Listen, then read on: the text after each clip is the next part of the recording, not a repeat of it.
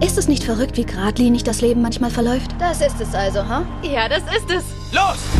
Dann triffst du diesen einen Menschen. Hey! Behalt ihn. Und alles ändert sich.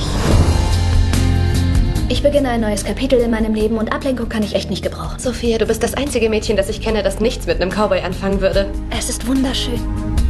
Etwas wie das hier hat noch nie irgendjemand für mich getan. Siehst du das? Was? Ruf einen Krankenwagen! Ich wollte Ihnen das nur vorbeibringen. Wo haben Sie die her? Aus Ihrem Auto.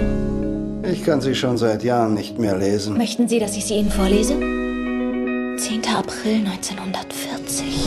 Meine liebste Ruth. Als du in meinen Laden kamst, wusste ich, dass ich mein Leben für immer verändern würde. Das lag noch in meinem Wagen. Ich dachte, das würden Sie gern wiederhaben.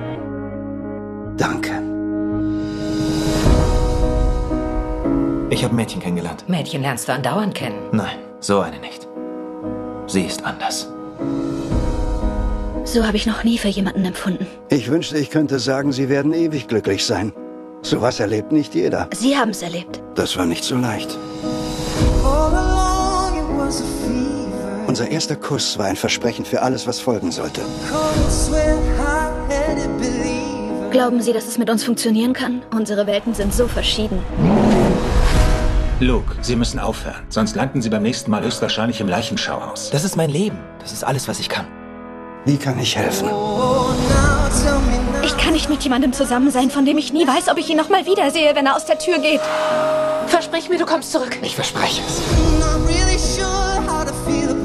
Versuch dein Glück. Ich weiß nicht, wie das funktionieren soll. Ich auch nicht, aber ich möchte es gern versuchen. Kann so nicht weitermachen. Liebe verlangt Opfer. Aber das ist es wert. Immer. I want you to stay.